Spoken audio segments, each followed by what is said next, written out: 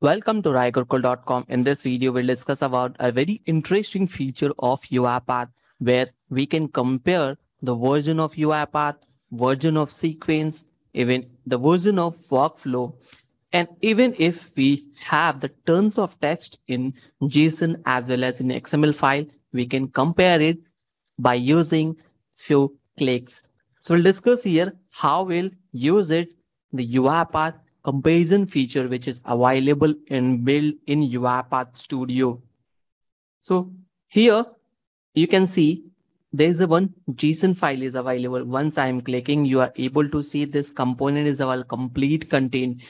Even in some of the JSON file, you will find it out millions of or tons of data is available, which is not at all possible when we are doing manually.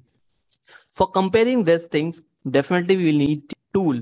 There are several tools are available, but in coding point of view, we have RPA tool, which is UiPath, where we can compare our components by using this feature.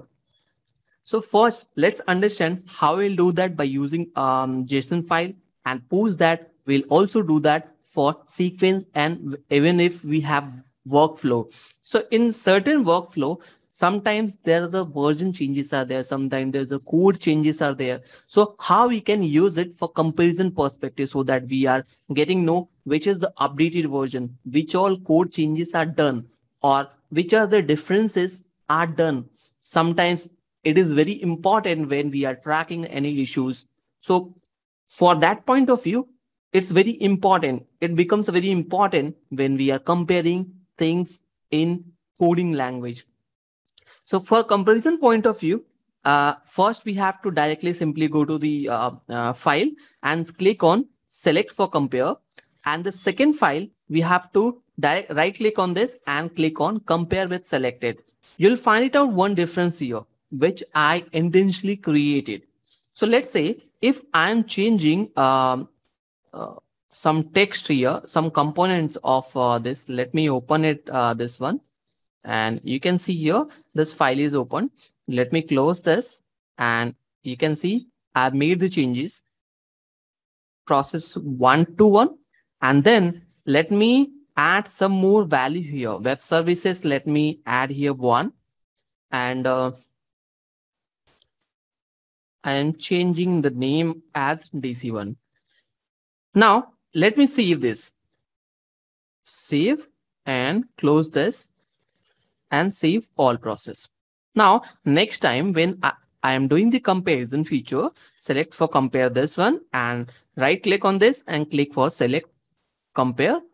So you can see the three differences are found which I intentionally made uh, for showing the differences. So this is how very simple method we don't have to go to one by one or one by one attributes to check out what, what all differences are there.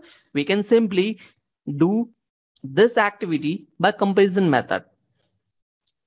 When we are having lots of differences, it is very, very simple. Whenever there is a differences, it will get highlighted. You can find out the difference. DC here, DC1, and the blank process here, and blank process 21 here. And in web services, I've added one here. So because of that, it's showing differences. If I want to add anything or if I want to get go to the next field, you'll find it out next, next, and then we are done. If I want to add uh, some components like additional components are there, green highlighted, but when we are working in sequence of workflow, it's very important. Uh, like let me create uh, this or open some other uh, XAML file. Let me delete this first. Or open Let me revert the changes.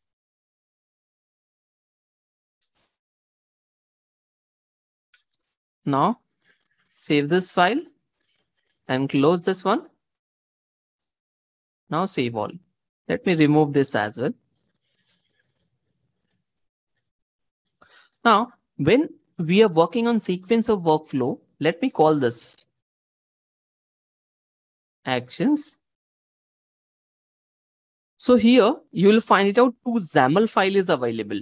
So let me show you one by one. Now we can see this is the XAML file and additionally added some of the attributes here and you can see here second one. So this is the second XAML file. What is the difference between these two XAML file? You can see here HTTP request is here, HTTP request is here, and the try catch block and the assign activity and plus additional write line. Here, let me add one more HTTP request below this. So let me copy and paste, save my file. Now you can see here when I am opening test case one, I am having only two HTTP requests, but in test case, I'm having three HTTP requests. So let me compare this. Select for compare and then right click on this and compare with selected. What you can see here, whatever the additional component is here, this is the additional component which is highlighted with the red color. And here it's showing blank. Even same thing, we can go by variable as well, or even with the string as well. So it's very simple enough when we are working with UiPath. If I want to expand all, then I will see each and every component is available here.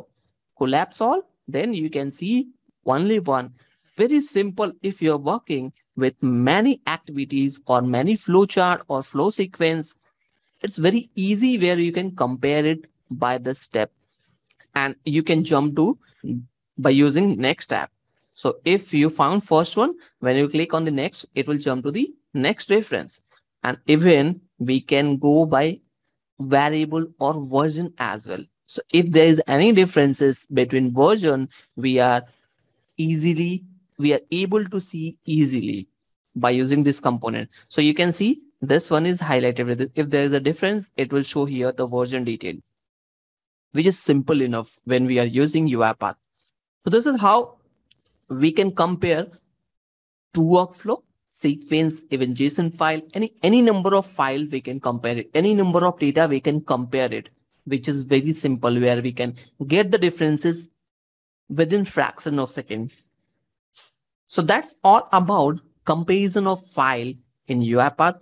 Hope you liked it. If you really enjoyed the session, consider subscribing and pressing bell icon for more updates.